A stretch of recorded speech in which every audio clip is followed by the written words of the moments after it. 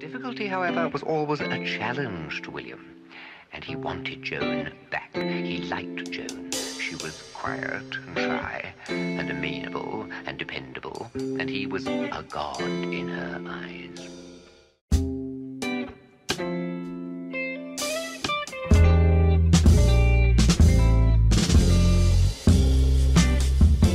There I lay